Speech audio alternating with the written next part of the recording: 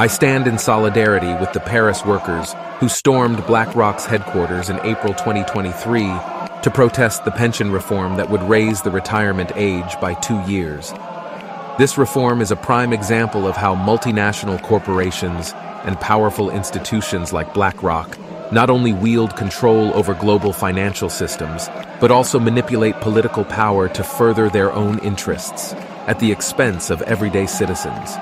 The protesters targeted BlackRock because they believed the company played a significant role in shaping these pension reforms through its influence on political decision makers. By promoting a system that favors private pension funds, the reform would force workers to seek supplemental retirement income through private investments, thus benefiting corporations like BlackRock. The protesters saw this as a direct attack on their financial security and well-being, prompting them to take decisive action against the company's headquarters.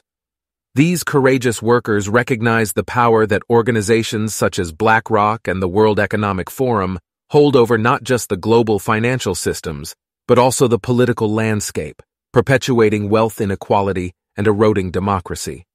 By breaking into BlackRock's headquarters, the protesters sent a powerful message that they would no longer tolerate a system that benefits the elite few at the expense of the majority. We must stand with the Paris workers in their fight against unjust pension reforms and the growing influence of multinational corporations like BlackRock in both financial and political spheres. We demand increased transparency, accountability, and a more equitable distribution of power and resources in our global financial systems and political institutions. Together, we can create a world that truly serves the interests of all citizens, not just the privileged few who control the levers of power.